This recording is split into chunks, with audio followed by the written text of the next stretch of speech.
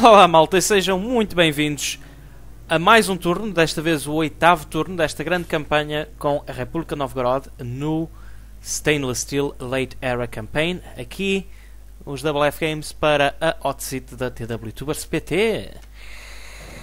E cá vamos nós para mais um episódio. Nós no último episódio, uh, recordando, um, conquistamos Pereyaslav numa, numa gloriosa batalha. Sim, senhor, liderada pelo nosso uh, Rostislav Novgorodsky, o irmão mais novo do nosso príncipe, que agora já tem o título de, de Duque de Pereyaslav, sim, senhora.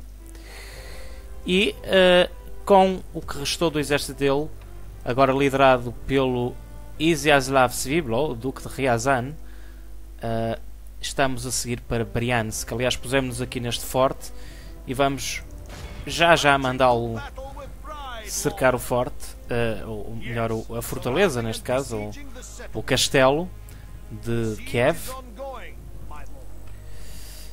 para então depois podermos podê-lo conquistar. E este espião podemos trazê-lo nesta direção. Hoje uh, é suposto conquistarmos Kiev um, eu já vi que eles estão a trazer o outro tal full stack que eu me perguntava onde é que andava, finalmente está aqui. O que quer dizer que hoje nós temos mesmo que lutar isto. Deixa-me só ver o que é que eles têm aqui. Tem aqui o Velik Niaz deles, o líder da facção. E têm Chu.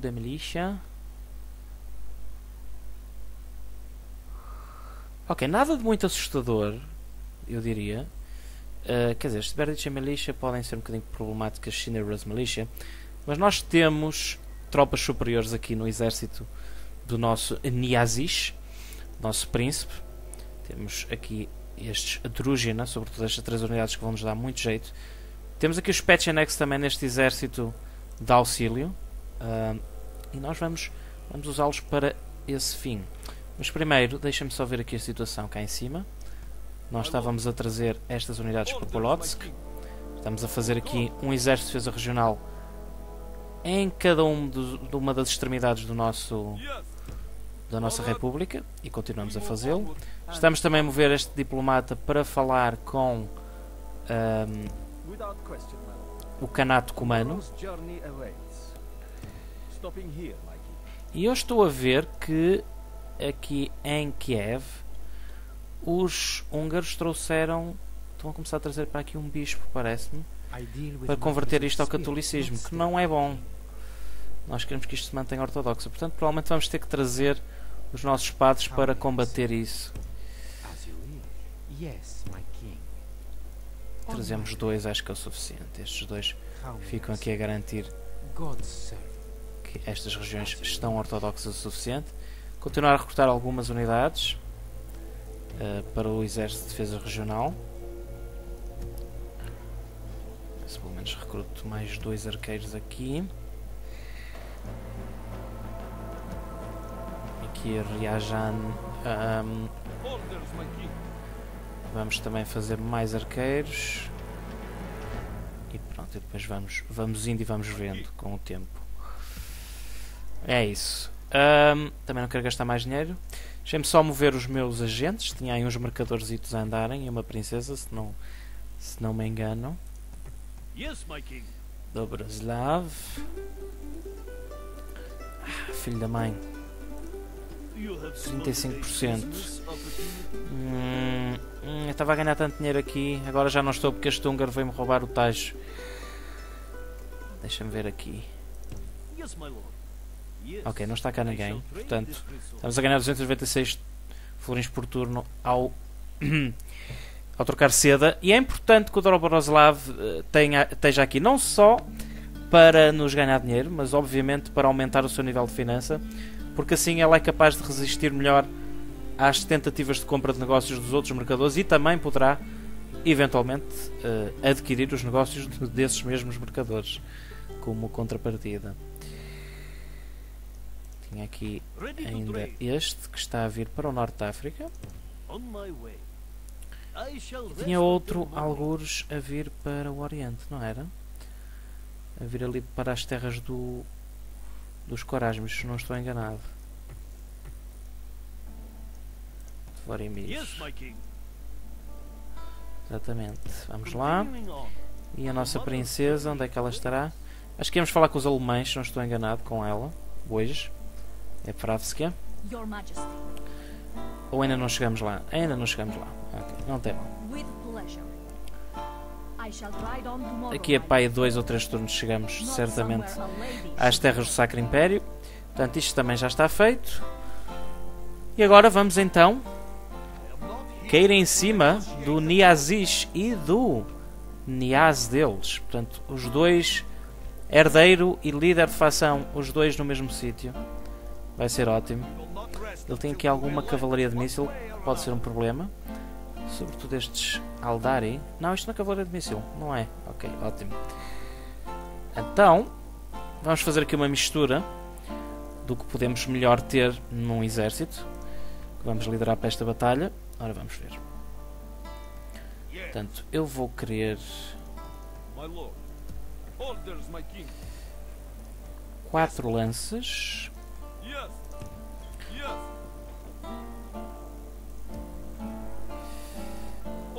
Aqui uma besta.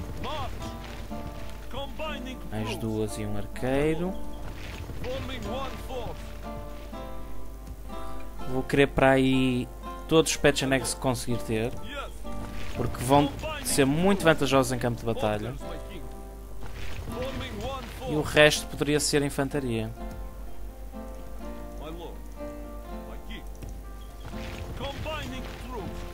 Ainda temos espaço para mais uma unidade. Se calhar levo uma unidade de Drugina Cavalry, porque acho que a cavalaria pesada pode servir mesmo só para fazer uns golpes no inimigo, no- nas laterais ou, ou- ou na retaguarda, ou mesmo para perseguir o inimigo. Eu quero só trazer este nosso espião para sul, para ele começar a ver onde é que Kiev tem as suas outras forças, porque eles ainda têm outra região. Eles ainda têm outra região, não têm só estas duas, têm outra. King. Hum. Hum. Ok, então com o nosso Niazish Vladimir vamos atacar aqui o Niazish deles, Niazish contra Niazish, e vamos atrair certamente os reforços de Kiev. E nós temos mesmo, mesmo que destruir toda a gente. E ainda bem que temos os Petchenex para, para o fazer. Ah, que é para conseguirmos ficar com Kiev para nós, pormos-nos lá dentro e esperar que aquele outro exército full stack nos ataque no próximo turno e nós quebraremos o cerco. Portanto, em princípio, malta, irão ter três batalhas seguidas nesta campanha. Ok, temos aqui uma pequena desvantagem, não sei porquê, honestamente. Provavelmente por causa da qualidade dos generais deles. Mas nós temos os Pechenegs, temos os poderosíssimos Pechenegs. Quem se lembra da minha campanha com Kiev, que já não, não vai assim há tanto tempo que eu a terminei, para aí 3 meses, por aí. Se nem, acho que nas Pechenegs foram de facto essenciais. Em, são cavalaria de míssil bastante boa para atacar o inimigo. E nós temos. Oh, por acaso está um mapa bastante clarinho e bastante liso. Que vai ser ótimo para nós. Acho que sim. Peasants, come! There is no reason for them to die beneath our blades, save they have that cow-like stupidity. Let's be done with them! Poucas palavras necessárias para um líder tão carismático como o nosso herdeiro Vladimir. Ui, eu já estou a ver ali os meus, os meus sempre, sempre, sempre favoritos de Drúgina nestas fações eslavas. Eh, o tempo está perfeito para nós. Queremos mesmo assim o, céu clarinho para as nossas flechas voarem alto. E está bastante velho o meu Niazish, caramba. Vejam a barba que ele tem. Porra. Ora bem, nós temos que ir atrás do inimigo, não é? Portanto, vamos fazer aqui uma formaçãozita jeitosa. Eu vou usar os meus Petchenegs apenas para atrair o inimigo a atacar-me. Portanto, até se calhar podíamos aproveitar era a vantagem de terreno, mas é. Tentar fazer aqui uma formaçãozita.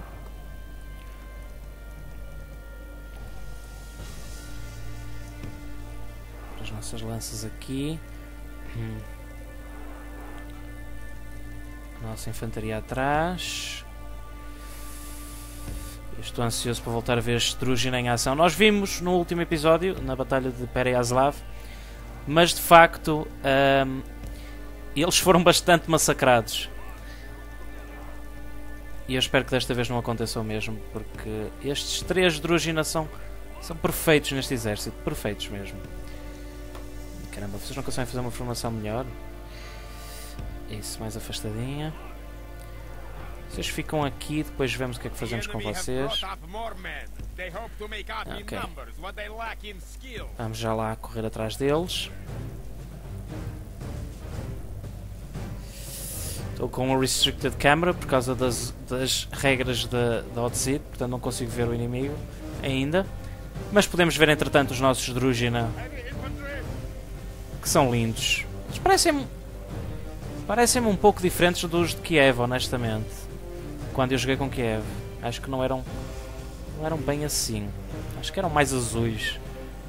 E os a cavalaria Drugina é que a gente nunca recrutou nessa campanha. E agora podemos ver pela primeira vez que também são lindos. Cavalaria pesada.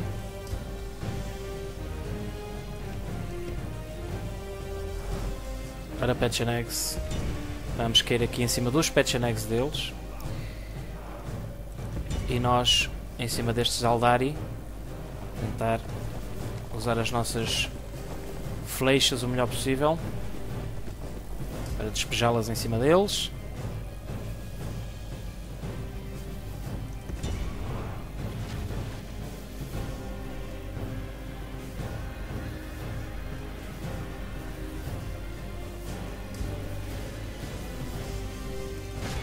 Os Pechenegs a despacharem este gajo, este Aldari, bastante bem. Cuidado com o general. Aqui também está a correr relativamente bem. Se eles pudessem disparar sobre o general era perfeito.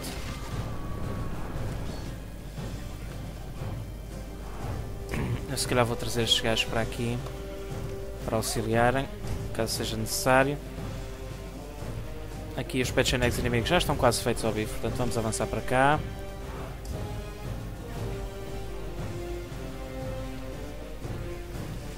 Que o general devia de estar a ser absolutamente obliterado. Apesar dos nossos Pechenegs estarem a atirar sobre a infantaria, não era bem isso que eu queria. Os reforços ainda vão demorar um pouquinho a chegar. Mas nós conseguimos despachar primeiro o primeiro exército, era perfeito. Vocês venham para aqui e ataquem estes Eastern Spearmen. Aqui parece que os Pechenegs deles estão a carregar sobre os nossos arqueiros, mas acho que não vão ter muita sorte. Eles também deviam estar a disparar bem contra eles. Exatamente. Cai na Zorga como diriam os alemães. E vocês estão-se a aproximar demasiado para disparar, caramba. Uh, mas vejam a devastação, malta. Ai, que saudades que eu tinha, que ver, que tinha de ver isto. Vocês ataquem aqui. Cuidado com a carga deles. Aqui eles estão. Acho que vão carregar com o general diretamente para cima dos meus arqueiros, pelo menos é o que parece.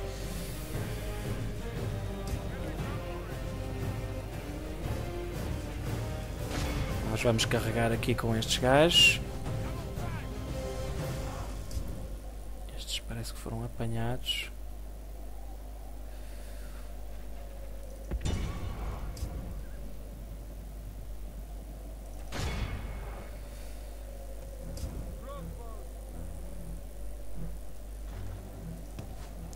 Vocês esperem aqui pelo momento certo para carregar. Eu acho que vou retirar os meus arqueiros já, antes que eles cheguem. E vou esperar que eles carreguem contra as minhas lanças. E então depois quando o general deles estiver preso ali, eu uso os Drugina Cavalry para carregar em cima deles.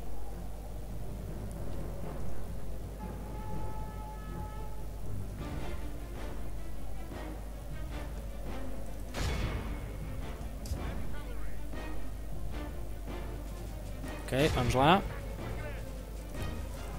Se calhar mais para aqui, para apanharmos lance. If we continue like this, we will smash the enemy.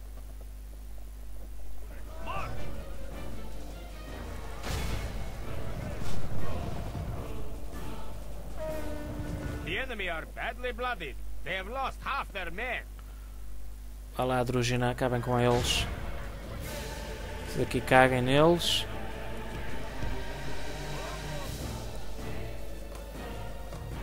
O que este gajo está a fazer? Carregar contra os meus arqueiros? Ok. Ok, Estes já vão à vida. Nós aqui praticamente destruímos o primeiro exército deles já. Só com os nossos Pechanex. Estes lanceiros continuam a ser obliterados pelas nossas flechas. Vejam quantas estão no chão. Uh, 23% das forças totais do inimigo foram à vida. Provavelmente vamos ter algumas perdas aqui, malta, contra o segundo exército. Mas eu espero que não, porque eles no segundo exército têm mesmo muito pouca cavalaria. Só têm praticamente o general.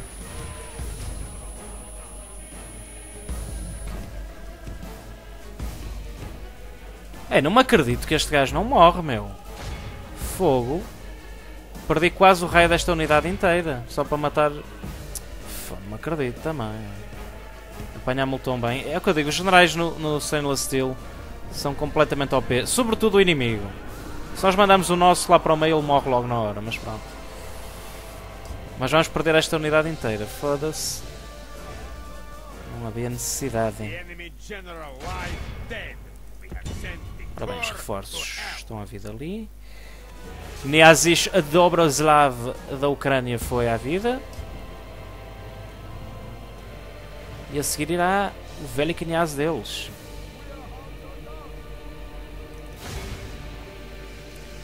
Ah, estes são só arqueiros? Ah, então carreguem, mas é. Carreguem em cima deles.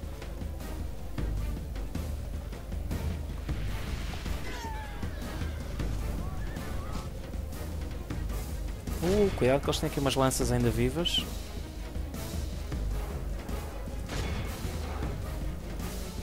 Descarreguem agora nestes.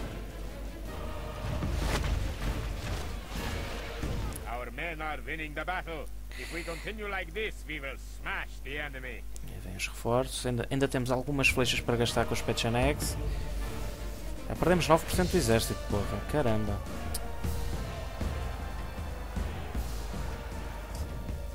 Estes gajos foram-se à vida. Tentar poupar pelo menos a unidade. Ganha um pouquinho de experiência. Depois pode ser que eu consiga retreinar algures em algum castelo. Aqui estes gajos vão lutar até à morte. Vamos reagrupar. É impressão minha, eles estão a trazer reforços de todo lado. Dali, dali. Como é isto? Que confusão é esta, meu? Vamos pôr alguns aqui. E vamos trazer alguns para aqui. Ah não, pera lá, estes são os nossos. Estes são os nossos, caramba. Esqueçam o que eu estou a dizer, malta. Esqueçam. Ela vai fazer uma grande confusão do caraças. Às vezes é melhor clicar aqui para ver o vermelhinho quem é o inimigo. Ah. Eilo.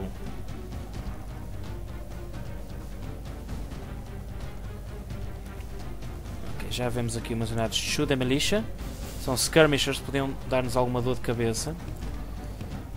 À nossa cavalaria.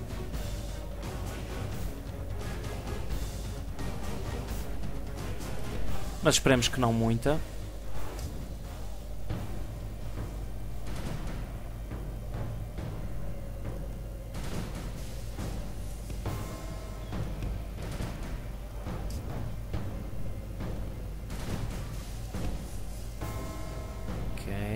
vocês reagrupem.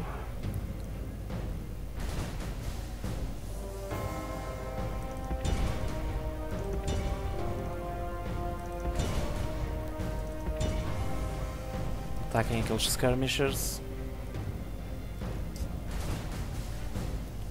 Vocês disparem contra o general.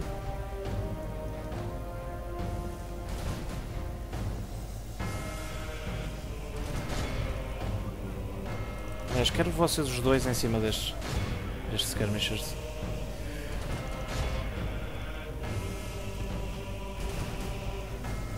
Cuidado com o general deles. Esqueçam que isto é o, é o velho Quinhaz. Quer dizer que o gajo deve ser ao P até dizer chega.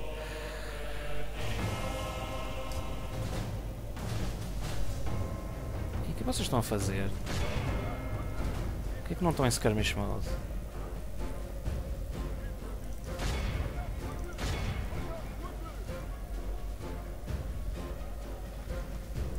Ok, eles estão desfeitos pelas nossas flechas. Sem problema.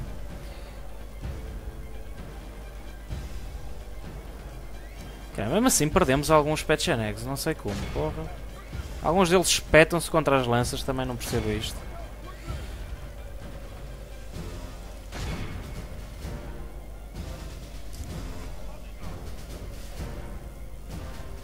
Aqui o rei deles foi à vida, basicamente.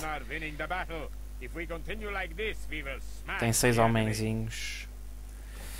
Deixem agora o nosso Niazish apanhá-lo. Vocês voltem para ali. Concentrem-se aqui, se faz favor.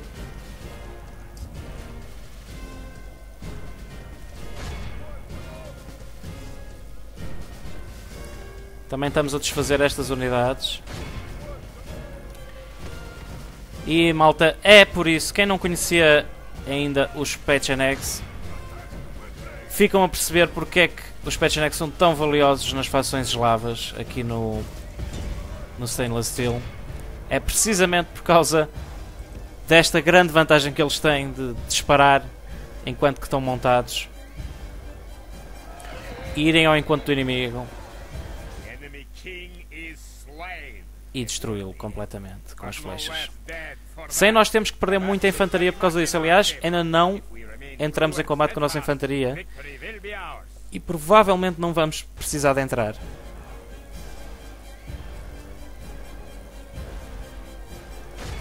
Os gajos continuam a perder homens porque tem aqui alguns gajos metidos no meio. Vocês carreguem, isto é. São skirmishers, vocês podem carregar à vontade. Vocês carreguem aqui, eh, disparem aqui. Quem ainda tiver flechas, não é? Já poucos têm agora.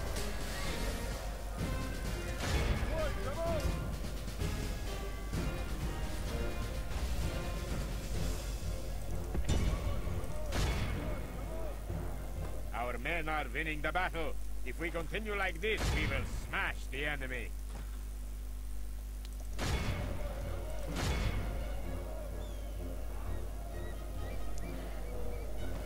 De Militia de serem completamente obliterados também. Ok, perdemos 10% do exército. Eles ainda têm 50% vivo. Mas não é nada que me assuste.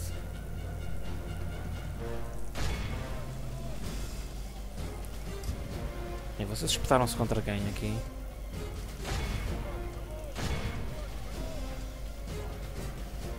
Descarreguem nestes gajos. Vocês carreguem naqueles.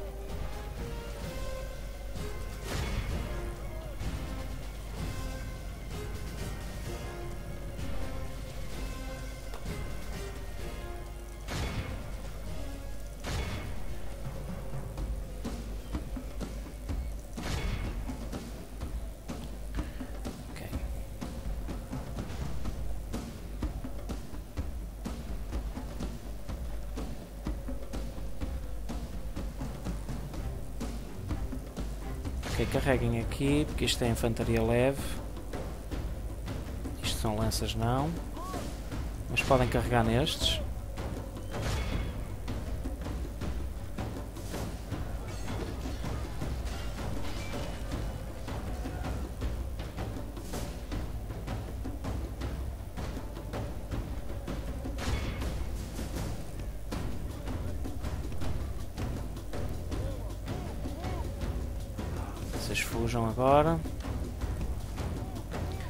Estamos a ficar sem flechas. O que não é muito animador. Vocês que ainda podem disparar, disparem.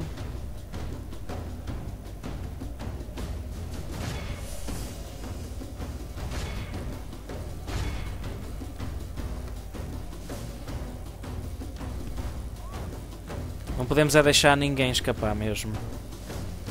Por isso vou trazer o meu general para aqui.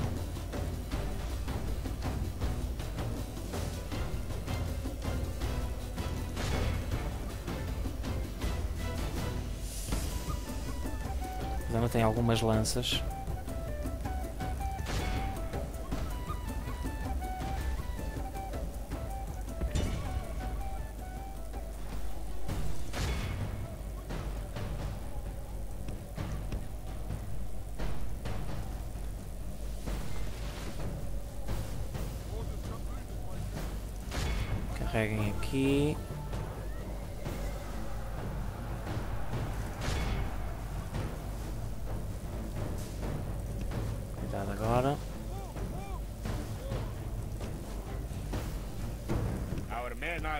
Battle. If we continue like this, we will smash the enemy.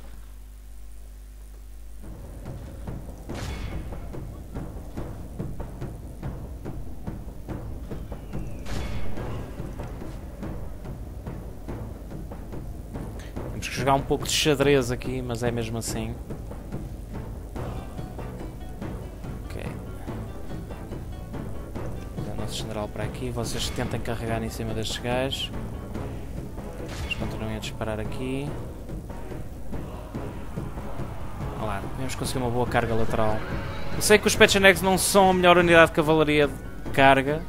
Aliás, tendem a morrer muitos nas cargas. Mas podem exatamente fazer isto, que é causar o medo suficiente para os pôr a fugir.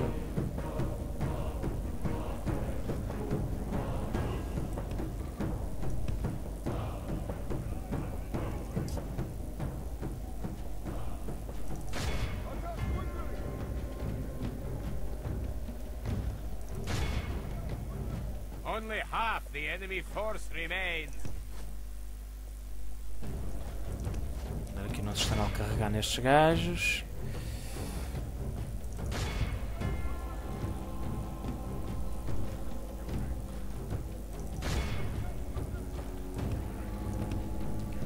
Ok, conseguimos virar as lanças para cá. Portanto, vamos tentar carregar nas costas delas.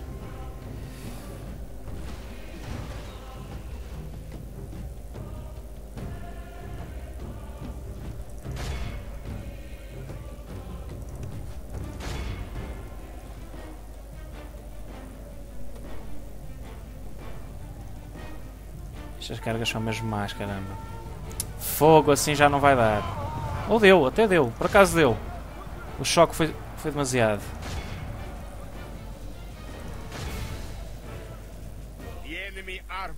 Ótimo. Agora é só apanhar o que resta. Perdemos 12% do nosso exército. Somos bem capazes de ter no fundo perdido menos. As unidades estão exaustas, como é natural. Depois de terem feito basicamente a batalha sozinhas. Os nossos arqueiros devem ter disparado um pouquinho, mas muito, muito pouco. A nossa infantaria não foi usada, malta. Como veem, os Pechenegs sozinhos fizeram o dia. E vão ser muito úteis na, na batalha de cerco. E eu digo-vos porquê. Porque, como nós vamos ter que quebrar o cerco, porque não podemos esperar que o inimigo nos ataque, eh, caso ele nos cerque em Kiev a seguir, eh, no final do turno, não é? Porque senão perdemos, por causa que a gente não consegue lutar batalhas defensivas contra a inteligência artificial. Ah, nas hot seats. Provavelmente a cavalaria vai ser muito útil para, especialmente os Pechenegs, para atirarmos em cima do inimigo e conseguirmos atraí-lo para ele vir para as nossas muralhas. E então aí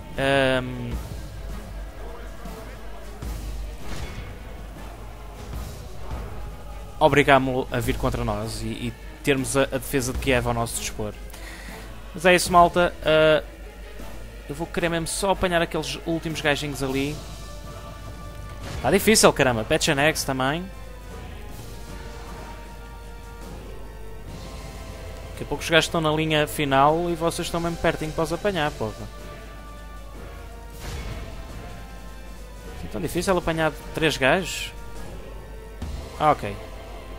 Escapou ali que é um gajo, mas acho que não vai fazer diferença. Portanto, vamos terminar a batalha aqui. Vitória heroica, sim senhora. Conseguimos recuperar. Vamos só ver. Vejam quantos homens nossos our mataram. most glorious victory. 200, 200, 120, 300, 300. E todos eles ganharam experiência. E um deles até ganhou 2 pontos. Muito meritoriamente, sim senhora. Foi uma excelente batalha, malta, com mínimas, que era um objetivo que eu tinha. Uh, porque não tenho nenhum castelo aqui perto para poder treinar as unidades. Estamos na frente de guerra aberta com Kiev. Mas eu penso que no próximo episódio, malta, teremos então a última grande batalha contra eles. Uh, eu vou pedir resgate. O velho Kinyasu foi à vida. O segundo velho que provavelmente era o death E Kiev é nossa. Relações pioradas abismais com Kiev. Vamos ocupar pacificamente. E esperemos que ele nos ataquem. Se eles não nos atacarem, e se eu vi que ele não tem muitos patch annex, porque habitualmente Kiev também tem, ah, e isso pode ser um problema para nós, e eu simplesmente no próximo turno sairei com este exército de, de Kiev e, e atacarei então ah, o capitão Gironeg e usaremos a mesma estratégia outra vez. Sire, Por acaso devia ter usado este espião para, para ver o que é que ele tem no exército, mas enfim. Agora já não é para possível. Vamos só trazer estes reforços todos para dentro de um forte só. Para garantirmos que os temos aqui perto. E agora que isto é nosso, aliás. Ótimo. Vamos tentar construir um. Ah, meu. Isto é o novo Kinhaz deles, aparentemente. Aqui fazemos uma alta, não há nada a ver. Não perdemos homem nenhum. Eles perdeu tudo. Tu já és um general, não sei para que é que pareces como Man of the Hour. Vamos só vir aqui construir uma, uma torre de vigia. E acho que não precisamos construir forte nenhum porque este gajo não consegue chegar lá. Não, ótimo. Então vamos ver o que é que, o, que é que o inimigo decide fazer aqui. Estou curioso. Aqui Briansk eu não vou necessariamente conquistar no próximo episódio, porque eu acho que eles não têm exércitos nenhums aqui que possam vir quebrar o cerco, portanto ahm, acho que posso arriscar completamente a manter o cerco, porque também eles provavelmente não vão lutar defensivamente isto. Duvido imenso. Mas se calhar até podem. Portanto, calhar no próximo episódio vamos ter duas batalhas, malta. Esta e esta. Mas não tenho a certeza, não tenho a certeza. Eu acho que vou querer pelo menos deixá-los durante alguns turnos a, a perder homens aqui dentro. E até é melhor para vocês, que assim têm batalhas todas as semanas. Se eu deixar para o nono episódio esta e para. Ou então, para o próximo fazemos esta e no outro esta. Ou então não. Ou então fazemos no outro esta porque eu não quero que este exército escape. Eu quero matá-lo o mais rápido possível, que é para poder avançar também, eventualmente, para outra região que eles tenham para aqui. Que eu não sei qual é. Mas se nós formos aqui, nós vemos que eles ainda têm duas regiões. Que é Briansk e a outra eu não faço mesmo a mínima ideia qual seja. Tentar ver se este gajo se tinha tornado Niaz ou não. Ah, estou a ver aqui azul, mas não sei se é do mar. Ah, deve-se. Ah, não, isto é rebelde. Eu ia dizer que era aqui uh, de Mutarakan, porque eles começam com isso, habitualmente. Mas se calhar é esta ceninha aqui. E eu acho que eles tinham uma cidade aqui. Quando eu joguei com Kiev, acho que tem, tem quase certeza que tinha uma cidade aqui. Uh, como é que se chamava? Agora não me lembro. Tinha aqui um general veterano que era o Georgi. Lembro-me bem do general, mas não me lembro do nome da cidade. Uh, eu acho que vou mandar este espião para lá. Porque se assim for, então será o exército de Briansk que irá para lá. E o exército daqui provavelmente uh, vai vir conquistar estas regiões rebeldes aqui. e depois começarmos a pensar em, em vir para Constantinopla, porque é um dos nossos objetivos. Sem dúvida nenhuma. A Lituânia também já, dá- já deve estar quase morta. A Ordem Teutónica está a tratar disso por nós, os nossos aliados. Onde é que está? Onde é que está a Lituânia? Ah, Já morreram. Já morreram. Só que a gente no Outcity é que não recebe as mensagens. Deixa eu ver. É, Living Factions, já foram. Claro, com a brutalidade tipo ao Evil, eles também não iam sobreviver muito, muito mais tempo. Ah, mas ganhamos um dinheirinho extra. Isto pode, pode servir-nos para fazer algumas construções. E podemos retirar aqui algumas unidades para aumentar a armadura delas. Portanto, vamos aproveitar isso. Vamos construir já aqui um Stone Mason's Hut. Para termos construções mais baratas no futuro. Ah, aqui também. E.